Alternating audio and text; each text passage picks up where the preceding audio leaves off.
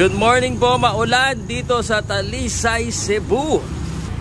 Pausulod Pauka Sports pero wala makakapigal sa boxing natin kahit maulan. Keith Garces versus Ian Donaire, Albert Pagara versus Villanueva. Bukas po yan. Papunta ako sa weigh-in pero iniimbitahan ko po lahat ng mga taga Talisay, Cebu, lahat ng taga Pilipinas. Kung taga Talisay ka, manood ka dito ha.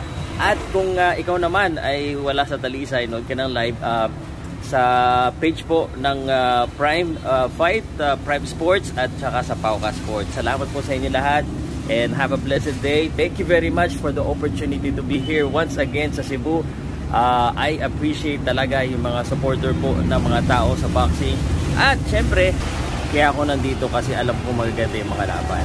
Kaya, ano pa hinihintay nyo? Boom, boom, pa. Please share, like, comment at ipagkalat nyo na may laban dito sa Dalisay. Prime Sports or Prime Stags Promotions.